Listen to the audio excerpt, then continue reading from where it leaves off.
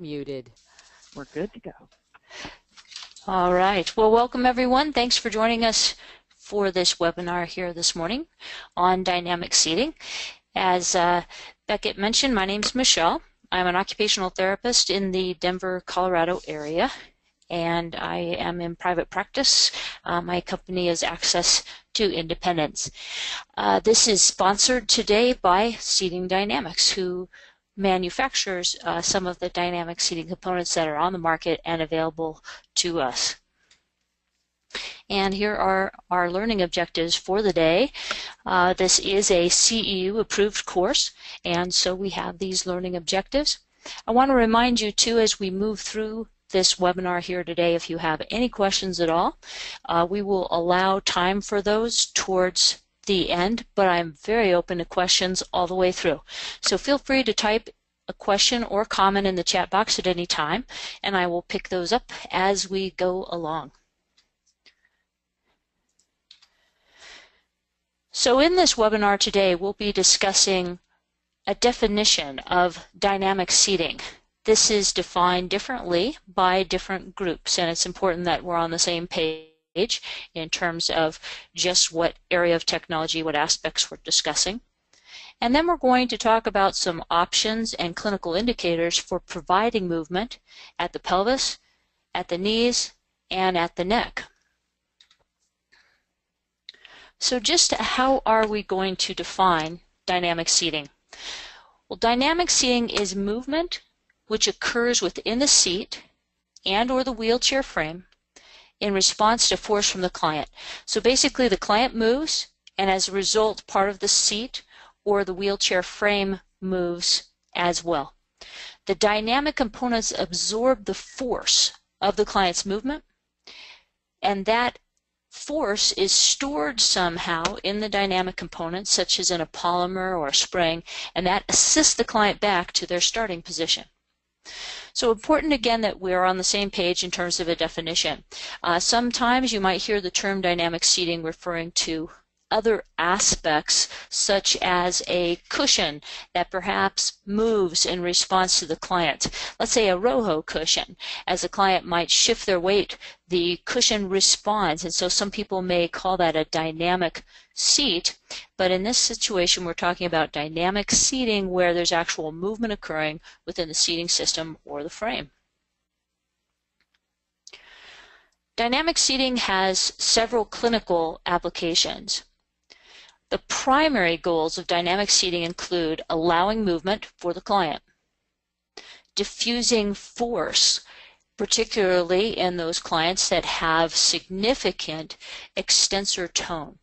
Those extensor patterns generate a great deal of force, so that force is absorbed and diffused.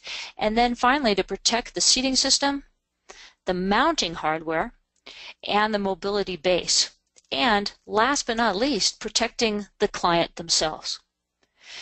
I've been thinking about this a lot more recently um, and partially due to some of the experiences the clients that I work with have had where not only is the uh, wheelchair frame at risk from large, uh, strong movements, repeated forces, but the client themselves can be injured. Think about it this way. If the client is exerting enough force that they've just snapped their headrest clear off that chair, chances are they are exerting uh, a great deal of force through, say, the cervical area or other parts of their body.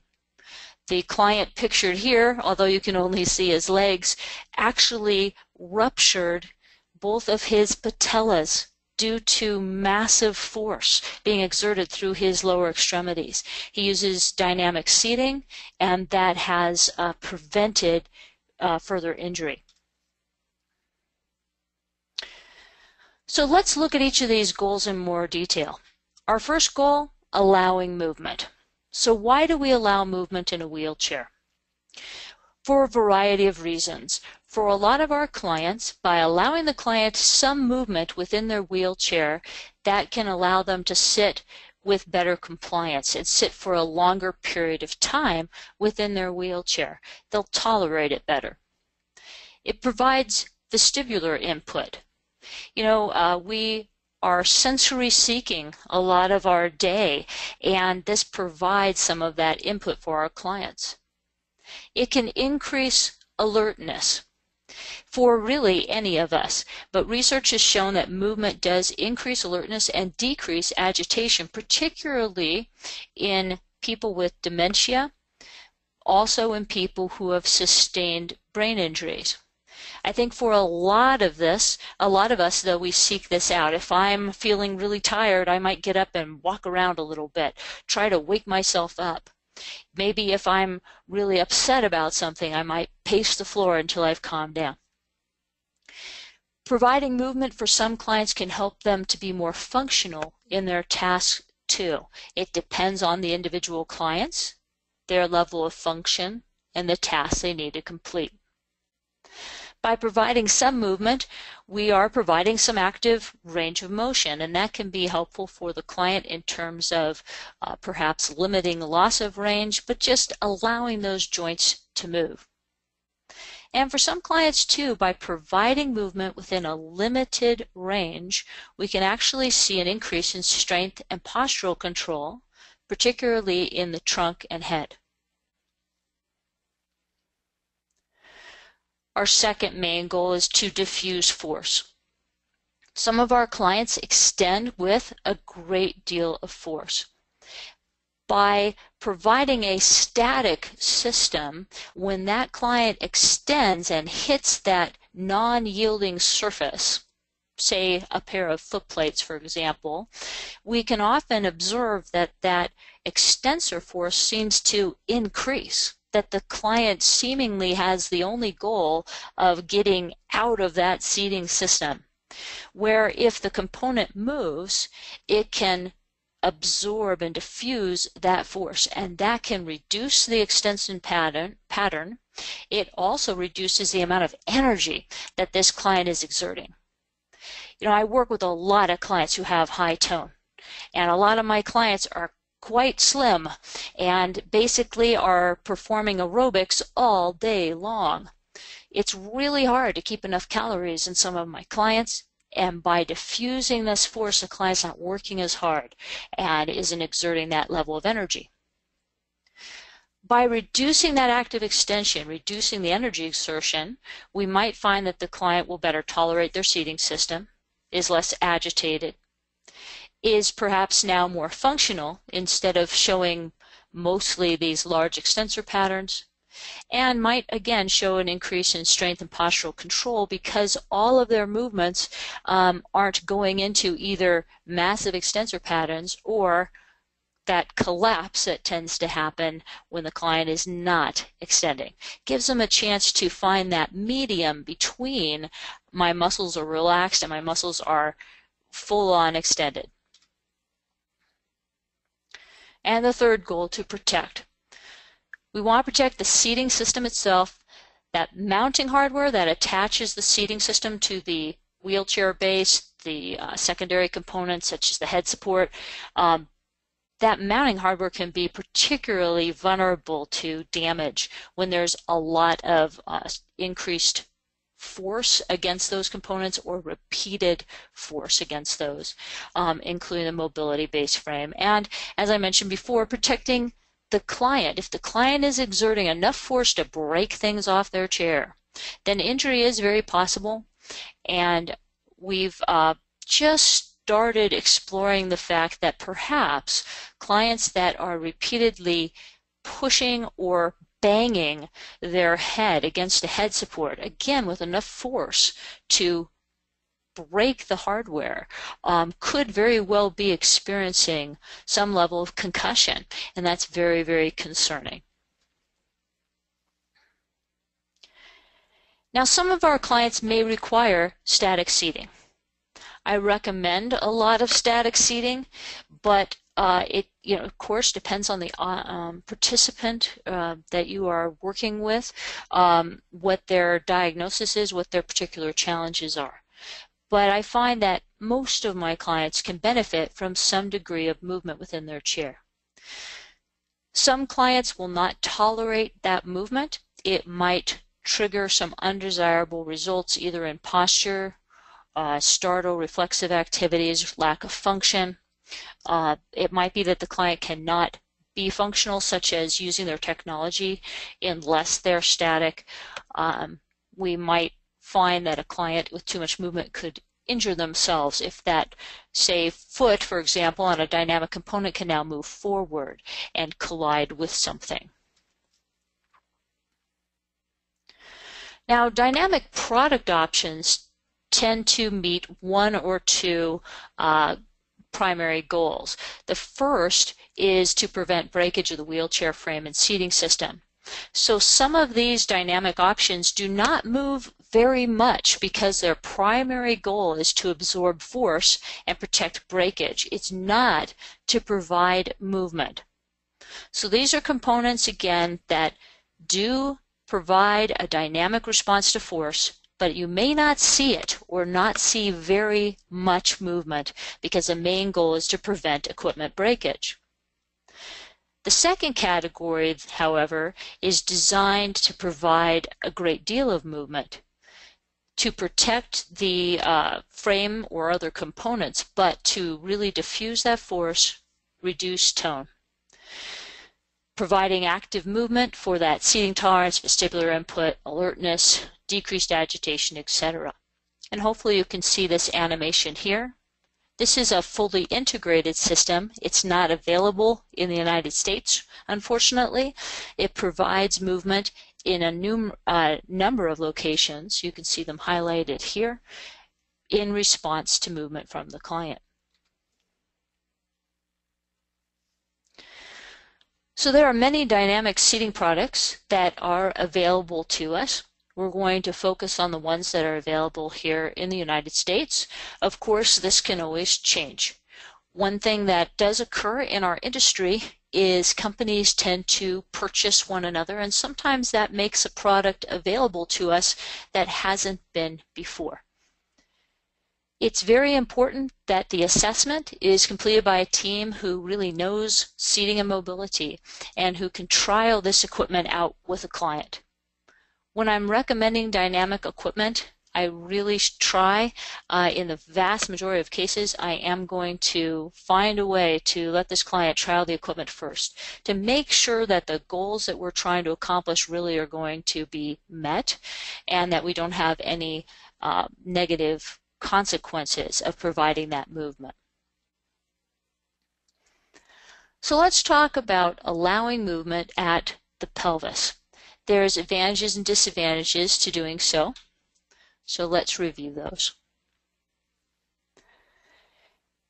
If the client can't move at their pelvis, if we've locked in that seat to back angle, we've used the type of seating strategies, secondary components to keep that pelvis in a neutral position and not allow any degree of movement, then when the client attempts to move or exerts force through their body, it's going to be transferred to other areas of the body, such as the legs, such as the trunk, the neck. By allowing the movement at the pelvis in a controlled way, without loss of position, we can reduce some of that posturing. This can be tricky though we know for a lot of our clients, particularly clients with increased tone, that by allowing movement at the pelvis, bad things can happen. So the trick is how do we provide movement in a controlled manner that allows the client to return to a neutral starting position, a neutral pelvic position without rotation, obliquity, or tilt if the client can achieve that starting position. Providing movement of the pelvis also allows the client to shift weight. So even in clients who cannot otherwise perform an independent weight shift, by providing some movement at the seat to back angle, it does provide some pressure relief and hopefully will lead to uh, increased comfort for the client.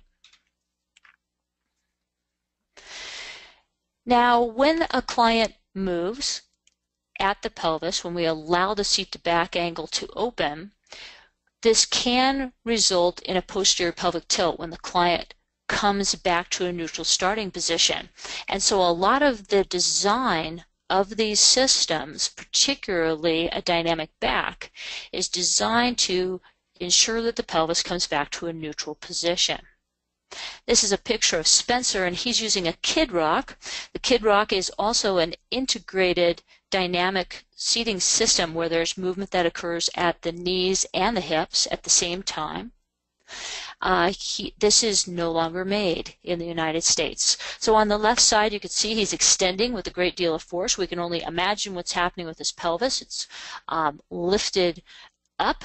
He is quite extended at the hips, but on the right, you can see that he has landed back down and his pelvis amazingly comes back to a nice starting position. So even if the client, when they move, perhaps moves into a suboptimal position of that pelvis. As long as that pelvis returns to neutral, uh, when the client goes back to upright, then that's okay. For some clients, if we allow that pelvis to move, it might mean that the pelvis moves into a more destructive posture where we're not at that neutral starting spot. Sometimes allowing movement of the pelvis into that posterior pelvic tilt, that more extended hip position can lead to generalized increased extension and spasms, and the client may not be able to return to that neutral starting position. So important to keep that in mind. This is one of the reasons we have to watch and see what happens when the client actually moves. So as I mentioned, right now, there are no integrated dynamic seating systems available in the United States, meaning a system that moves in more than one area in response to client movement. But there are a number of options in terms of dynamic backs. So movement occurs only at the back, but we can combine this with other dynamic options, such as a dynamic head support or dynamic leg rest to allow movements in other areas of the body. Now, I'm going to be showing several videos here depending on my internet connection today as well as yours. I'm hoping you'll be able to see these. If you cannot, uh, bear with me. This is the Miller's Dynamic Backrest Interface, and it extends at the level of a biangular back. A biangular back is a two-piece back. The lower piece goes to about the top of the pelvis, about the PSIS, and then the upper portion extends slightly beyond that. This is a commonly used linear back. In this case, Miller's has adapted this to provide movement at this junction through hydraulics. By providing the movement at the level of the biangular back, the pelvis is more likely to assume a neutral position when or remain in a neutral position during movement. Seating Dynamics also has a dynamic back, and hopefully you can see the animation here on the left side. This has an adjustable level of resistance. So it comes with four different polymers and depending on the polymer that you choose, more or less resistance is provided.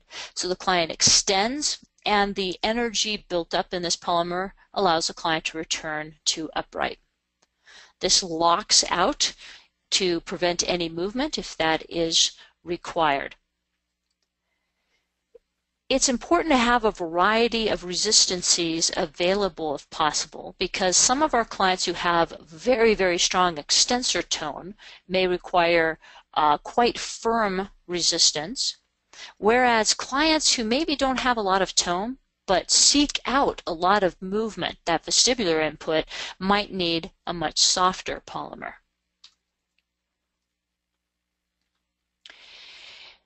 And here's a video of that dynamic rocker back in action. If you are able to see this video, you'll see on the left side, oh, and we've got a little audio on this one. I'm going to turn that down. So if you look on the left side, you'll see this polymer, and you can see it being compressed by the client and then it helps the client get back to upright. On the right, this is Daniel and he's watching his favorite baseball team, the Denver Rockies or Colorado Rockies, and he has um, extended his legs quite a bit and there's some extension going on in the back as well. And as he relaxes, his legs will slowly come down and his back will come forward as well.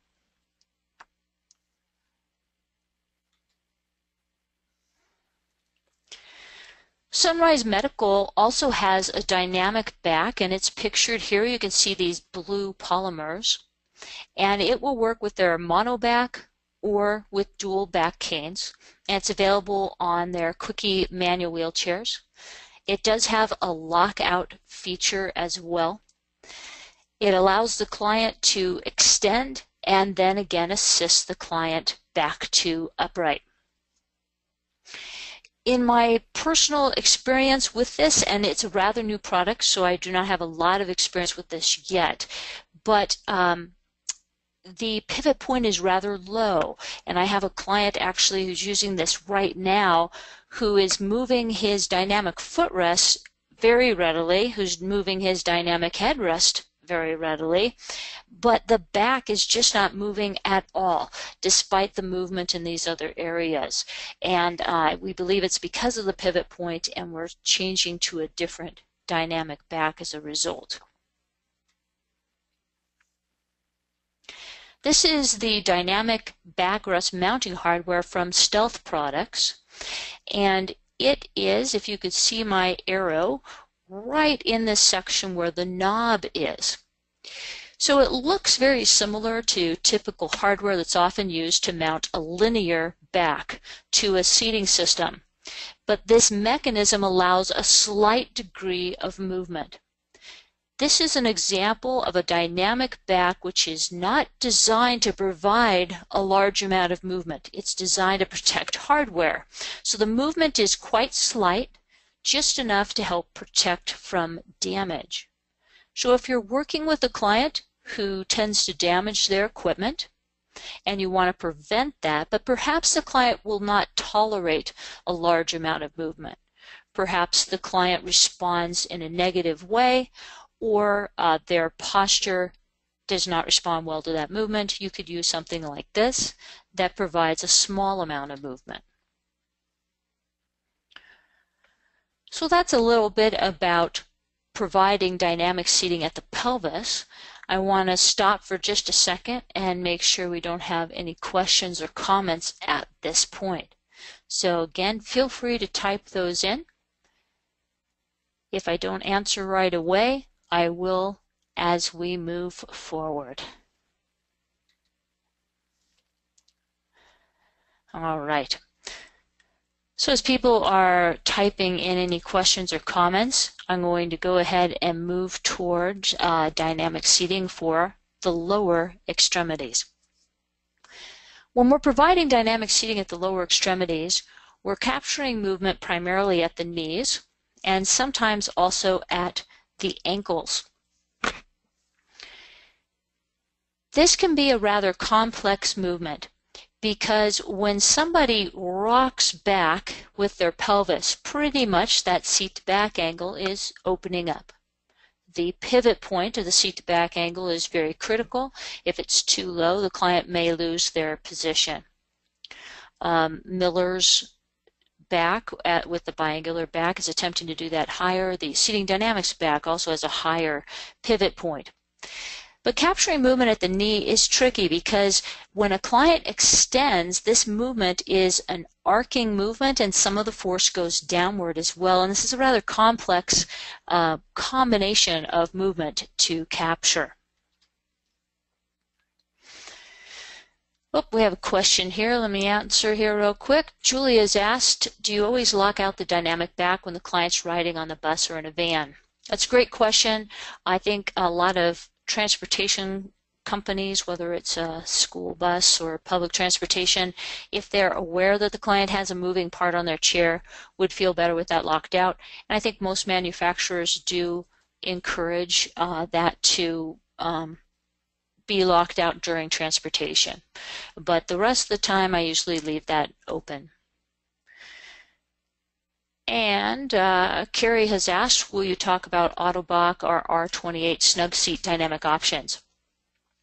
Uh, those I, we are going to talk about an Ottobock um, dynamic headrest, but in terms of snug seat, those are not items that you can place onto a wheelchair. Uh, they come as a part of a very specific seating system on a stroller base. So yes, those are options that are out there as well. Um, and sorry, we don't have time to go into uh, those in more detail here today. All right, so what are some of the advantages of providing movement at the lower extremities? Well, there's a lot of clients we work with who will not tolerate having their feet restrained in any way, shape, or form, but perhaps would tolerate it if the footrest assembly, the footrest hanger, moved in response to movement from the client because those clients, without having their foot perhaps within an ankle hugger or shoe holder, would tend to keep their legs outward where the feet might be injured and do not receive the stability and weight bearing that occurs when the feet stay in contact with the foot plate. So this might allow us to actually secure the foot as appropriate to the foot plate to protect injury, to provide weight bearing, to provide that stability, but allow the client to better tolerate this because they can move. Oops. There are disadvantages to providing dynamic seating at the lower extremities, though. In order for the dynamic component to move, the foot generally does have to be attached, secured to the foot plate. Otherwise, the foot will simply move forward of the dynamic component. If we restrict the feet in any way, then that can keep the client from an independent transfer. Uh, the client may be unable to uh, remove their feet from that dynamic assembly. And some clients, no matter how much movement we provide, are still going to fight any restriction uh, of the movement of the foot. So let's look at some of our options for providing this dynamic movement at the legs. Miller's has a dynamic footrest gas spring, pictured here on the right. It telescopes or extends downward about two inches. This does not move forward, it only moves directly down. Think about it for a minute. Many of you are sitting right now. If you were to extend at your legs, your movement tends to go forward and downward. Again, it's a rather complex movement to capture. This only captures that downward movement. For some clients, this will work just fine particularly clients who have very tight hamstrings and may not be able to open that angle, extend at the knee. That force may truly go downward. As this is a hydraulic component, though, if the client's angle of movement does not closely match the angle of the hydraulic, this system may not always be activated by the client. The Miller's dynamic footrest coil, pictured below, allows for some rotation at the foot plate. So this is not designed to move downward, but to allow the foot to move outward. Now, not many of our clients are going to move outward with their feet with a great deal of force. This often is designed to prevent breakage of wheelchair components. If that footrest or foot plate contacts something like a doorway or the edge of a, a van door or lift with a great deal of force, the spring will absorb that energy rather than the footrest hanger breaking. So this is another example of something that's designed primarily to prevent that breakage of components. This is another option from Miller's. It's their dynamic articulating footrest hanger. And you can see, uh, hopefully, in this video that this person is able to push downward and out. So this is designed through hydraulics to capture that extension downward and that arc upward. This can be retrofitted to a lot of different chairs. I've played with this a lot over the years and have had um, a little inconsistent results with it. And I think it's because, again, our clients tend to have very complex movement at the legs. And if the client's pattern of movement doesn't closely match that of the hydraulics, or if the pivot point of the dynamic component isn't in the right relation to the knee, uh, sometimes my clients can't move the mechanism, it will jam. Seating Dynamics also has a dynamic footrest. This telescopes one and a half inches, so extends downward. Like with the uh, Miller's similar uh, telescoping option, uh, this can work well for clients who have tight hamstrings and really can't move their knee into extension but can move downward. And then you can use this in combination with knee extension up to 30 degrees. It also offers dynamic dorsiplantar flexion, 17 degrees in each direction. Uh, probably most of our clients are going to push, extend into plantar flexion. And then the resistance is adjustable through springs. Since this does not use hydraulics, I have found that it captures my client's movements a little more readily, and I like being able to change the resistance to match that individual client's needs. One thing to keep in mind with these resistances, because uh, I work with a lot of children in my practice, is uh, sometimes people will ask, well, how much does a client need to weigh for a certain level of resistance, whether that resistance is in a hydraulic, a spring, or a polymer?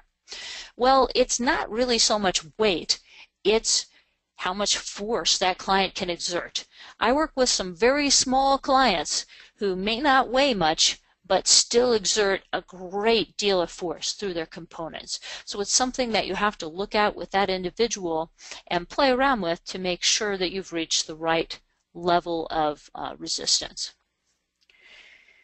Here on the left, someone is demonstrating the movement of the seating dynamics. Dynamic footrest, you can see that it's extending, it's moving forward, and showing that plantar flexion. And then on the right, this is one of my clients.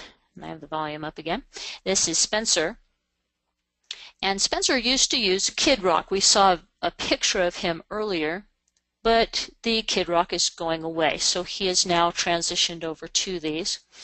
And as he is exerting force, as he's excited and extending, he's able to uh, readily move these. And that, again, is diffusing his force so that we're not seeing the resultant extension throughout his entire body.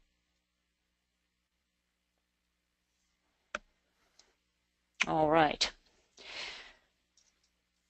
So, again, before I move forward, I want to stop and make sure we don't have any more questions at this point, particularly about uh, these lower extremities. You know, the uh, Kid Rock system, which again is off the market right now, did allow us to lock out the footrest. That's not the case with the um, uh, the current offerings from Miller's, from uh, Seating Dynamics, these do not lock out at the leg.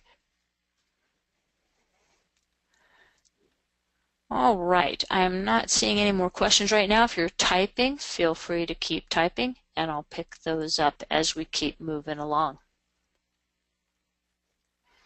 The other main area that we can provide dynamic movement is at the neck. Many of our clients can extend with a great deal of force at their uh, at their head support uh, behind the head, and that can lead to extreme forces occurring uh, in the cervical area, uh, even in the back, and can result in damage to equipment behind the client. So providing some movement at the neck can reduce breakage of the head support mounting hardware in particular.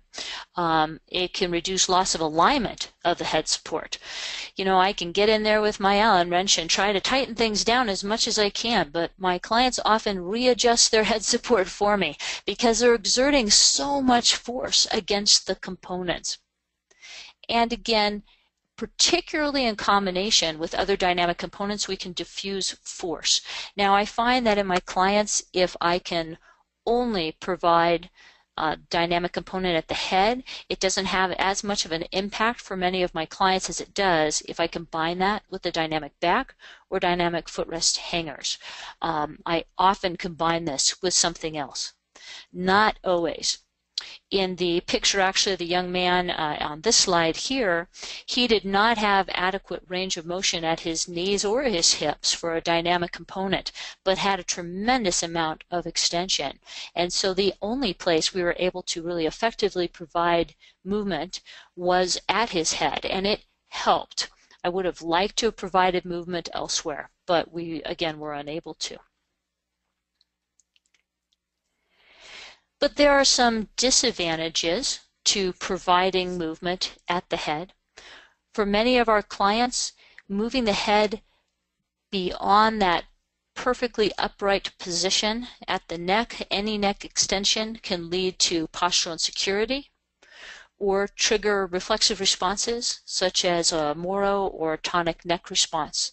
So this is again very important to consider when we're looking at different options to make sure that we are um, it's clinically appropriate, clinically indicated to provide movement at the neck and how much movement.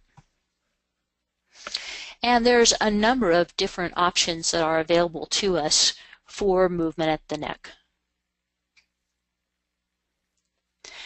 This is from Miller's and it is their dynamic headrest horizontal adjustment bar. You can see that it moves directly rearward on a spring and the shroud has been moved out of the way slightly to uh, allow us to see that spring. Usually that is in place covering the spring because one of the challenges of providing movement at the neck is we're by the head and most of our clients have hair. Hair can get caught in these dynamic components and can get pulled clean out and that's not fun. So it's important that the dynamic component is protected so that or shrouded somehow so that the hair isn't caught in there. Also, obviously, it's going to be a pinch point for fingers for siblings, let's say, or other people around the client. One challenge with this horizontal adjustment bar is it captures movement directly rearward. Some of our clients, when they extend, also tend to rotate, and this mechanism sometimes can jam. Ottobock has this dynamic rock and lock headrest bracket, and the dynamic portion of this is the silver area. It has a spring and this will move about one and a half inches and it is shrouded to protect both fingers and hair for the client. It does work primarily with Ottobock head pads. Um, I'd have to double check my notes on this. I think it might be possible to use this with some other ones, but primarily designed for those Ottobock uh, head pads. Seating Dynamics also has a dynamic headrest. The single axis is available now and it moves along that y-axis midline. So it captures that movement directly back and it moves about 8 degrees. The amount of resistance can be changed. There's different elastomers that are, if you can see my cursor here, that are in this section here uh, where it is mounted. A multi-axis version of this is pending and it will move in various directions, capturing posterior movement and rotational movement so far in testing this relatively new product out, I found that even if you push along one edge of this head pad, and this works with a number of different head pads from different companies, um, even if you push on one edge as if you were rotating, it still does move actually in response to client movement. This is the Stealth Tone Deflector it fits uh, behind, well, between their mounting hardware and any of the stealth head supports, and they certainly do have a lot of them. It moves in about 10 degrees in any direction, and it has a, a I think, three or four polymers inside of this deflector. Now, like the back mounting hardware that we looked at, this does not move as much as a lot of the other headrest options, dynamic headrest options, and it's not designed to.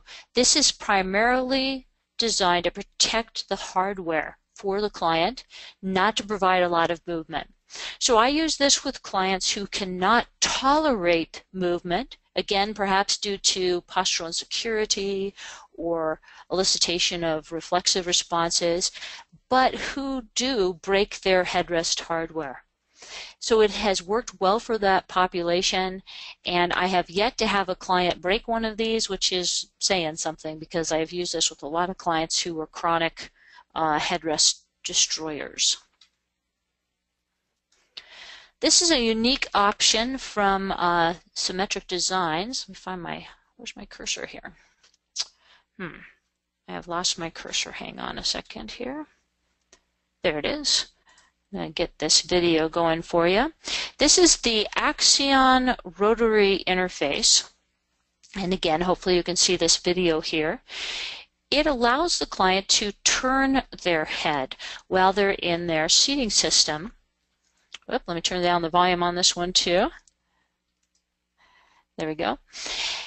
And you can see it really works best when the client is also using a head strap. On the right here, it's pictured with their head support called the Savant. And it really doesn't have any friction. It's designed for someone who doesn't have a lot of tone, who more likely has some muscle weakness or even paralysis, uh, but can turn their head if their head is strapped in. If you move your head forward of this, it tends to kind of uh, slide to the side. All right. And again, if you have any questions, feel free to pop those in or any comments. I'd love to know too if uh, any of you have played around with some of these dynamic components if you're using dynamic uh, seating right now. Oh, and then also, uh, it's always important to remember that these components can be used in combination. This is a brief video clip of the back, the headrest, and the footrest support all being used together to capture those large extensor patterns or clients who just really seek out that movement. All right, looks like we have a question here. Hi there, Joe. Joe has asked, do you use tone deflection, dynamic hardware, and other components in conjunction with various foam densities to achieve a result? Um, you know, that's an interesting question. Before a lot of these dynamic components were even available uh, in my practice setting, we were often playing around with various densities of foam. So for example, when we didn't have something that allowed the knee to extend, we would put some dense foam underneath the client's feet so that when they extended, when they pushed out their feet, the foam would hopefully absorb some of that force uh, because we were just flying by the seat of our pants. We didn't have a lot of product option at the time. So it is possible when we're using these dynamic components to combine that with the seating system in general to remember that as the client's moving within the seating system, the seating materials can absorb some of this force as well. So depending on the material, some materials absorb forces well, some recover well, some do not. So the foams that tend to recover very well are very springy HR foams. Uh, they work great for absorbing force and recovery.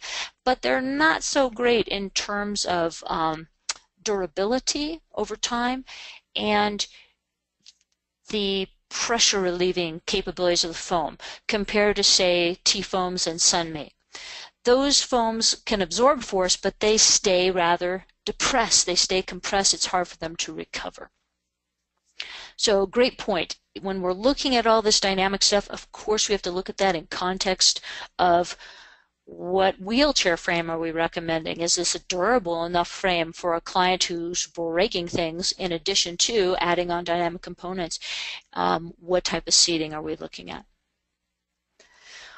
All right, so I would like to uh, wrap this up for our last section of the webinar with two case studies that hopefully will illustrate some of the different applications for uh, this dynamic seating. First we have, if I can get over there, Rachel. There we go. Rachel is 12 and she has cerebral palsy. She also has optic nerve atrophy and really um, almost no vision as a result and a lot of seizure activity. She has a lot of sensory issues and uh, seeks out a tremendous amount of sensory input. If she doesn't have that sensory input, she pretty much checks out. When I met Rachel, she was in a tilt-in-space manual wheelchair with a linear seating system. She was in this manual chair primarily at school, but her mom reported that at home she spent most of her time in a typical rocking chair. So I determined that Rachel didn't really require very much postural support. She not only could sit up independently in this rocking chair, but she rocked and rocked and rocked. She required that mobility base primarily to move her for that dependent mobility because she's non-ambulatory and uh, has never attempted any degree of uh, self-propulsion. She does not have enough motor control to self-propel a manual chair, and her vision and uh, cognition are uh, quite impaired. When she's in that manual chair, though, she checks out. You can see here, this is her typical position. She takes her arm, she tucks it underneath that anterior uh, trunk support. She props her chin on her fist and closes her eyes. And that's how she stays all day long at school. Now, the main reason I became involved with Rachel is because her communication device, uh, or her uh, speech language pathologist, was trying very hard to find a way for Rachel to access her communication device. Well, she wasn't accessing it, I believe, primarily because she was so withdrawn throughout her day. The school assumed that she was just asleep, and I'm sure she was napping some of the time, but there was just nothing to engage her. But in her rocking chair, her head snaps up and she is much more alert. She begins uh, making vocalizations. She seeks out uh, further sensory input. She's engaged with her environment.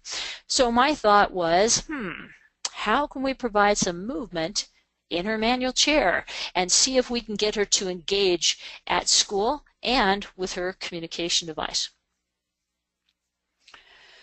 So we tried the Kid Rock with her. She tried this out for about two weeks. We were able to get a demonstration one, and I wanted to really make sure this was going to work for her. She was definitely more alert and engaged than when she was in her own manual wheelchair. It did take her a while to figure out that this moved. We had to move it for her. So I was pushing back on the back and encouraging her to move until she discovered that she could move it herself we had to use the lowest tension springs that were available because she doesn't exert a lot of force. She just moves. And we wanted the chair to respond very easily to any attempt of movement to encourage her to move, which helped her to be more alert. Again, the Kid Rock is no longer an option. So that was Rachel. Let me go back to Rachel here for just a second. Um, some of the clients we work with seek out movement. I think all of us move. We seek out movement. Movement is very, very important to a number of aspects. Um, again, alertness and decreased agitation for all of us. For Rachel, it's particularly important, and I'm constantly amazed how many of the clients I work with have a large uh, degree of sensory issues as well.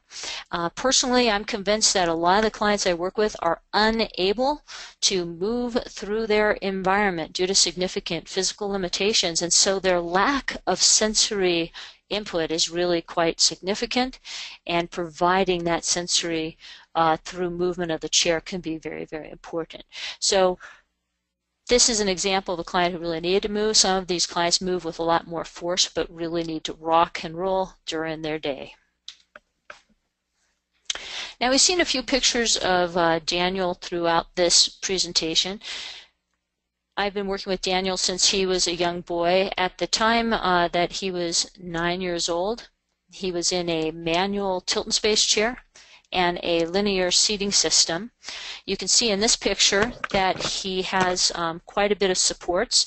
He has some rather unusual shoulder pads. We were trying to retract his um, shoulders a little bit because he was rounded so significantly. He has a sub-ASIS bar on because his tone was just absolutely out of control and we were trying desperately to keep him within his seating system.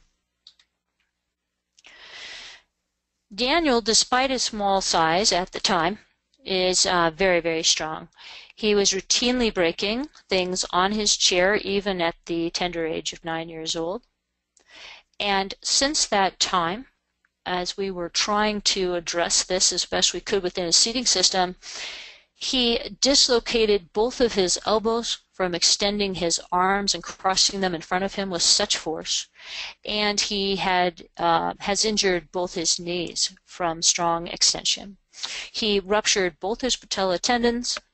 His knees were red and swollen a great deal of the time, and we were really working hard to address this however we could within his seating system.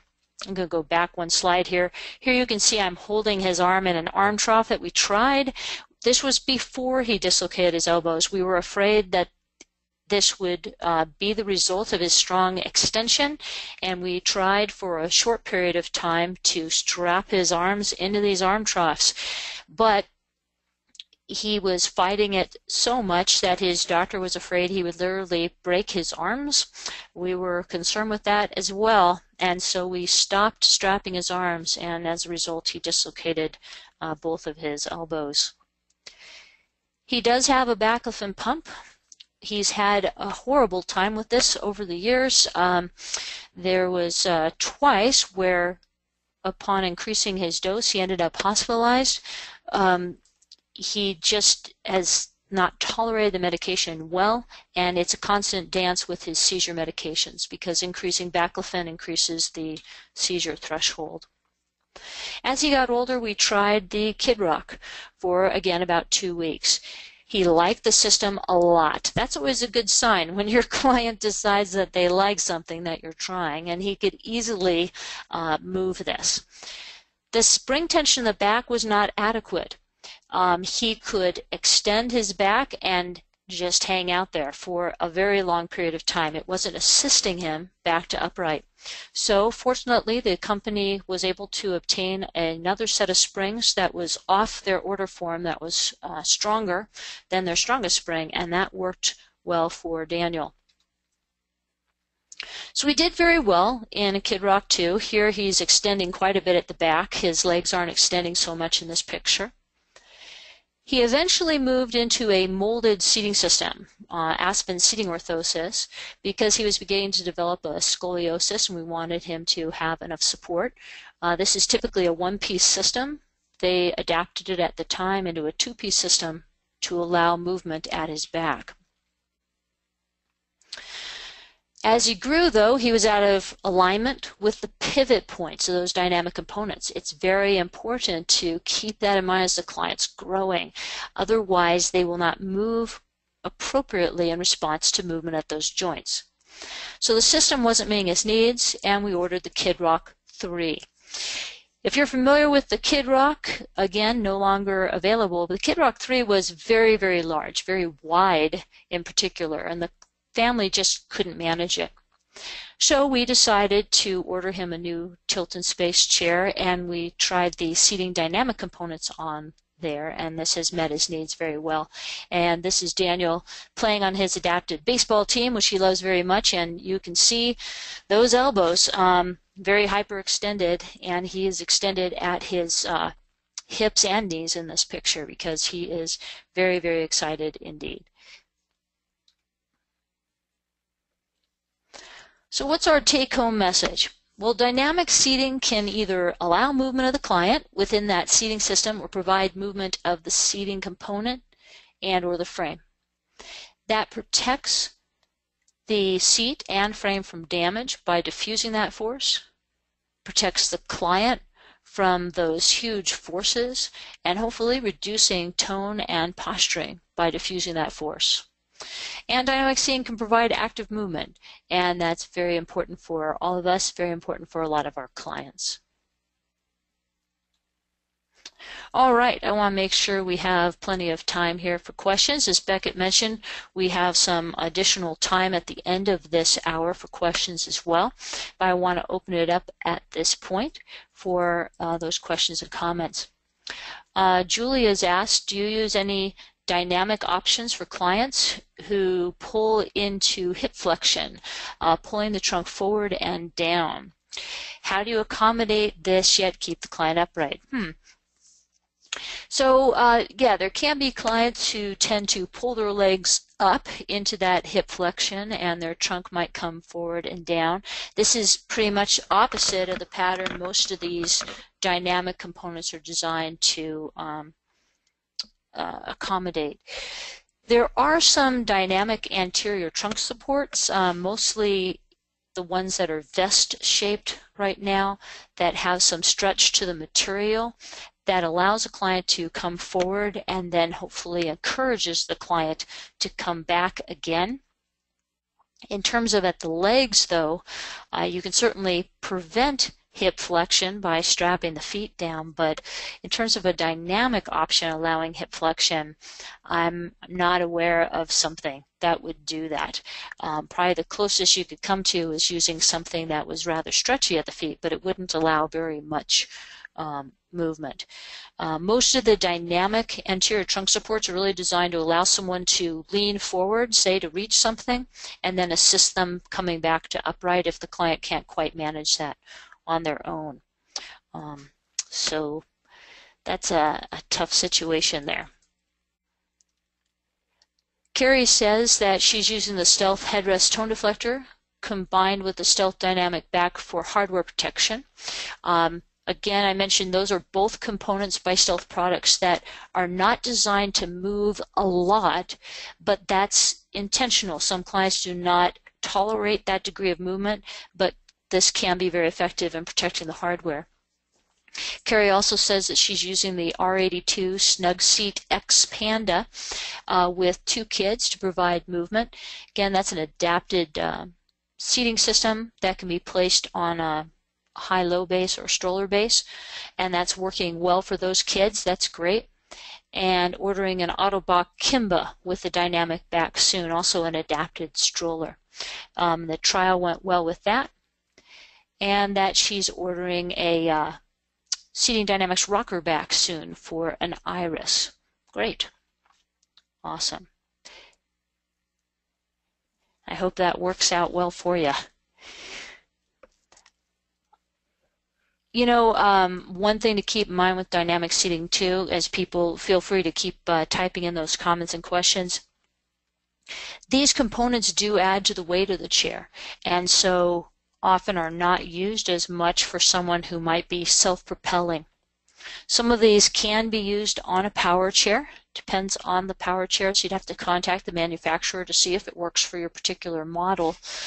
And then um, dependent mobility bases like those tilt and space chairs, this works very well on. Anne has asked, uh, have you ever used a ROHO in conjunction with your dynamic options to provide an interactive surface? Um, you know, I have not, well, I have, um, but not for that goal. I did have a client who did well with the ROHO and a dynamic back.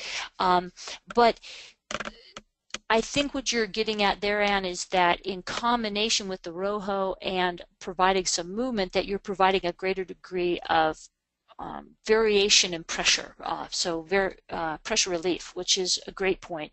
And I haven't done that so much, but I know some colleagues who have, and we're going to be discussing that. Actually, I should have said this earlier because I know some people have already jumped off of this, but at the International Seating Symposium this year, uh, there's a group of five of us who will be doing a pre-conference session on dynamic seating. We all work with different populations, and one of uh, my co-presenters is going to be discussing use of dynamic seating um, with spinal cord uh, clients who have had a spinal cord injury, so different population. And I do think that you can use this in combination to have a greater impact on pressure distribution.